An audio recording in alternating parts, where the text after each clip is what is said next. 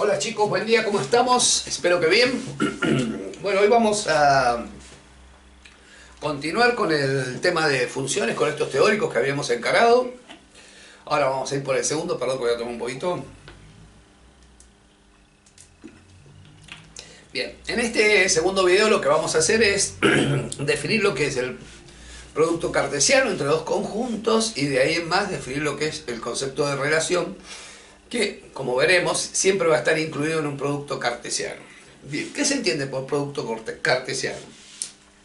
Imaginamos, imaginemos que tenemos dos conjuntos, un conjunto A formado por x1, x2, x3 y así sucesivamente xn elementos y un conjunto B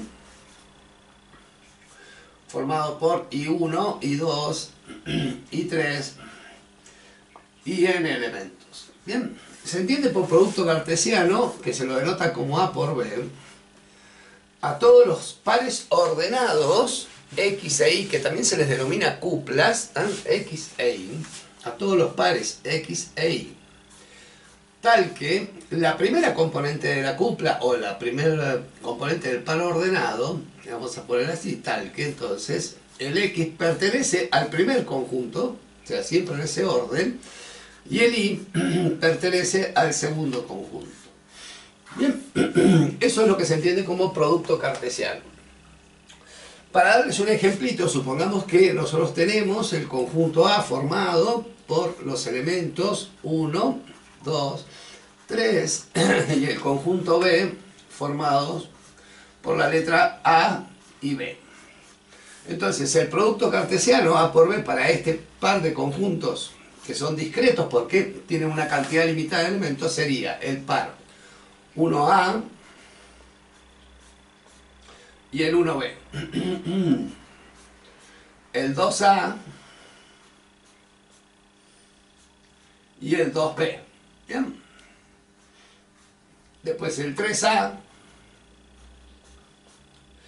y el 3B. Ahí tendría, por extensión, el producto cartesiano A por B. Ahora, este mismo producto cartesiano A por B lo podría haber hecho en un sistema de ejes coordenados, tomando como la primera proyección o la primera componente del par, el eje X, donde están los elementos de A, que sería el 1, el 2 y el 3, y en el eje Y considerar el conjunto B, que serían los elementos A y B. Entonces, los pares ordenados quedarían ese puntito, ¿ven? Ese puntito y ese puntito. Ahí estoy marcando el 1A, 2A y 3A. O sea, 1A, 2A, 3A. Y por supuesto, tendríamos el 1B, el 2B y el 3B. O sea que esto que estaría acá sería el producto cartesiano A por B. Ahora bien, si nosotros imaginamos en un momento de que tenemos los dos conjuntos sean el conjunto de los reales por un lado y el otro conjunto, el conjunto de todos los números reales, estaríamos hablando de todo el eje X y de todo el eje Y. Es decir, que el producto cartesiano R por R, que lo podemos simbolizar o se simboliza como R cuadrado, lo que nos daría es todo el plano, todos los puntos del plano, X e Y en este caso. Es decir, que sería un conjunto infinito que nos estaría dando todos los puntos de un plano en los ejes cartesianos X e Y. Bien, eso sería el producto cartesiano, o sea, todo el plano X, Y. Y en el caso particular, para cursos un poco más avanzados, diríamos entonces que si yo tengo una terna ordenada, Vamos a hacer para atrás un poquito para que se vea. Si yo tengo una terna ordenada de tres elementos, el producto entre R por R por R nos daría R cubo, que eso lo denominamos el espacio real. Bien, bueno, una vez que ya sabemos lo que es el producto cartesiano, las conclusiones que podemos sacar es que no es una propiedad conmutativa, o sea, no es conmutativo. El producto cartesiano entre A por B no es lo mismo que el B por A, porque en el caso que hagamos B por A, todo esto quedaría al revés. ¿No es cierto? Quedaría el A1, el A2, el A3. El A serían las primeras componentes, igual que el B, y las segundas componentes serían 1, 2 y 3. Recuerden que a esto se llama componente o proyecciones. Y a los pares ordenados de un producto cartesiano se les suele llamar cuplas también. Para los que estudian álgebra en esto. Lo que pasa es que el enfoque que le vamos a dar acá es más dirigido al análisis matemático más que al álgebra. Bien, ya sabiendo lo que es un producto cartesiano, vamos a definir lo que es una relación binaria. Lindo día, ¿eh? Lindo día. No sé para qué, pero está bueno el día.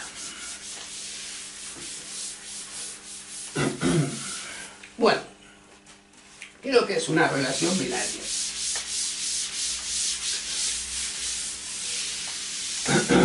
Una relación binaria se entiende, la palabra bi viene de dos, o sea, se entiende una relación entre dos conjuntos.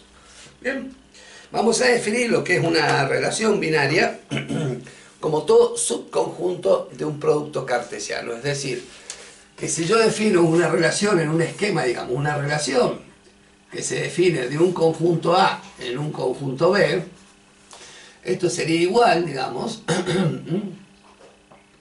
a todo, a todo subconjunto, subconjunto de un producto cartesiano A por B. Esto quiere decir que cualquier relación binaria de A en B estaría incluida en el producto cartesiano A por B.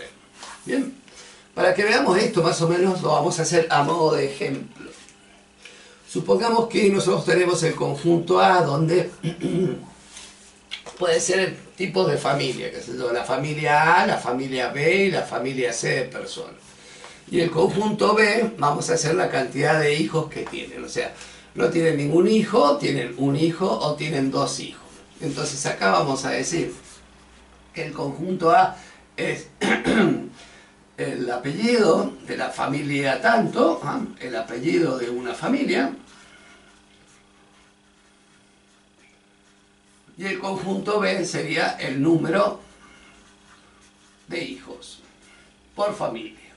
Eso es lo que vamos a definir por conjunto. Entonces, si nosotros hacemos el producto cartesiano, entonces A por B, nos quedarían, como ya hemos dicho, los pares A0, ¿bien? O sea, que la familia A no tenga hijos, que la familia A tenga un hijo, que la familia A tenga dos hijos. Que la familia B tenga, no tenga hijos, que tenga un hijo o que tenga dos hijos. Y por último, la familia C, que no tenga hijos, que tengan un hijo o que tengan dos hijos. Este producto cartesiano, si lo expresamos en los ejes coordenados, bien, en los ejes coordenados, donde acá ponemos la familia y acá ponemos los hijos, entonces pongo la familia A, la familia B y la familia C, con cero hijos, uno y 2. Es decir, que los puntitos nos quedarían esos que están ahí por lo visto anteriormente. Espero más o menos que salga y que se entienda. Eso sería entonces nuestro producto cartesiano A por B. Una vez que ya tenemos determinado el producto cartesiano A por lo que vamos a definir es nuestra primera relación. Voy a borrar esto. Entonces, supongamos que la relación que nos piden, la relación que nos piden, que le podemos llamar R1, la relación R1, va a ser igual a los pares ordenados, en definitiva, X e Y, tal que, obviamente, el par X e Y pertenece al producto cartesiano A por B, eso ya no es necesario decirlo, y que y, ¿no es cierto?, el número de hijos, digamos, sea menor o igual que 1. Entonces, nosotros querríamos entonces determinar en este caso que vamos a buscar todos los pares ordenados que pertenecen a la por B donde la cantidad de hijos sea menor o igual a 1. Esto significa que o no tenga ningún hijo o tenga uno. Si yo expreso esta relación, digamos R1 por extensión sería que la familia A podría tener 0 o 1, entonces sería que el A iría con el 0 o el A iría con el 1. La familia B iría con el 0 y con el 1 también. Y la familia C también iría con el 0 y con el 1. Es decir, que si esta relación yo la marco dentro de mi diagramita cartesiano, sería que tendríamos este elemento y este elemento, este elemento, este elemento, este elemento y este elemento. Es decir, que eso que está ahí sería la relación R1. Como ven, esa relación R1 que yo he establecido está incluida dentro del producto cartesiano A por B. Bien, bueno, la forma de representar las relaciones. Hay tres formas que se, que se usan para representar las relaciones. Cuando los conjuntos de la relación, o sea, los elementos que pertenecen a la relación, que recuerden son pares ordenados, en un número discreto se suele recurrir a veces a diagramas de Venn. Esto significa, en diagramas de Venn, denme una oportunidad, voy a dejar ahí esa relación marcadita, para seguir con el mismo ejemplo.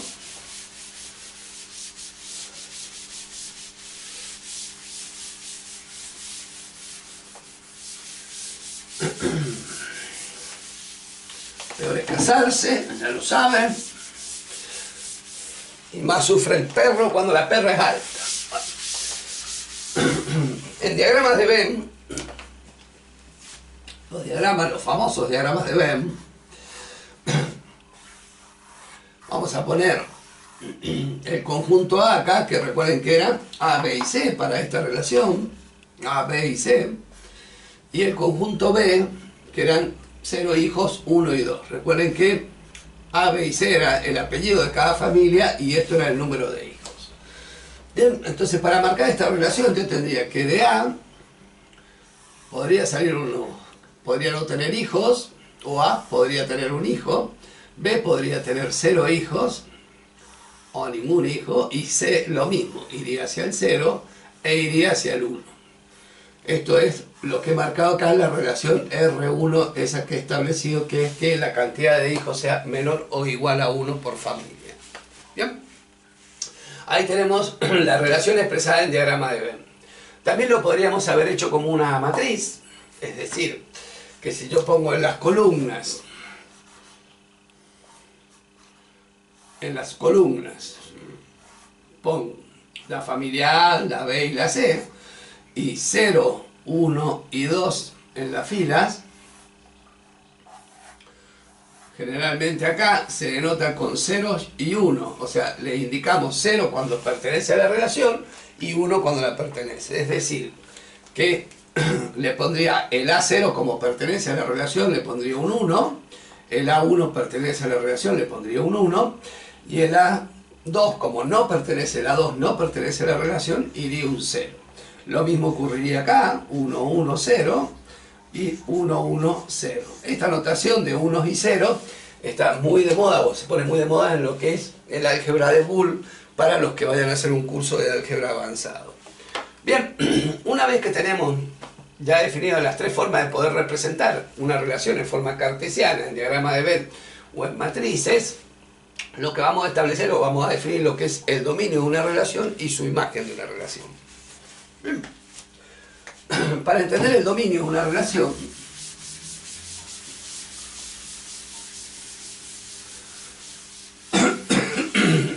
se entiende entonces por dominio de una relación.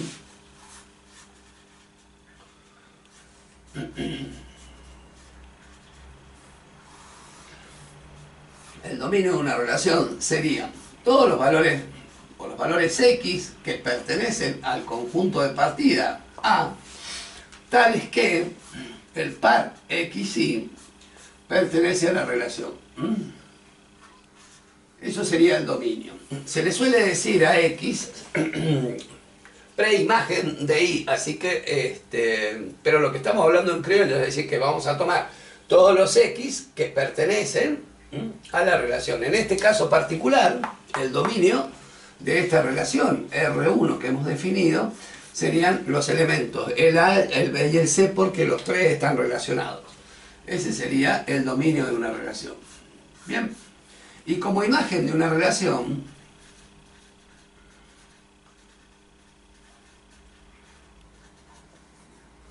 serían todos los elementos del conjunto de legado, o sea, de B, o sea, todos los sí, tales que son imagen de algún elemento de X. Es decir, que la imagen de una relación serían todos los valores de Y que pertenecen al conjunto B, tal que X por Y pertenece a la relación. Entonces, para nuestro caso particular, el conjunto imagen de la relación serían los elementos solamente el 0 y el 1, ¿ah? porque el 2, acá había un 2, porque el 2, o sea, que tenga dos hijos, ninguna de estas familias tiene dos hijos, porque entonces para esta relación R1, la imagen serían los elementos 0 y 1. Es decir, que si nosotros representamos eso en el diagrama de Venn, en este caso todo esto, los tres elementos, serían el dominio de la relación, R1, y la imagen serían solo dos elementos 0 y 1 porque pertenecerían a la relación. Esa sería la imagen de R1.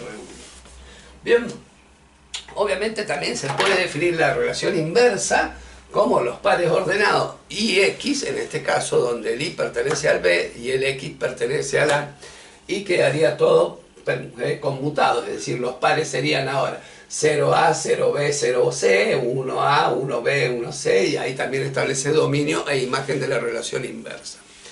Bueno, no, no me interesa hacer hincapié en este curso sobre todas las propiedades de las relaciones, porque las relaciones se pueden clasificar de orden o de equivalencia, pero eso es para más para un curso de, de álgebra. A mí lo que me interesa, a nosotros lo que nos interesa en este curso es tomar el concepto de relación. A estas relaciones le vamos a poner unas condiciones que tienen que cumplir para que se transforme en una función.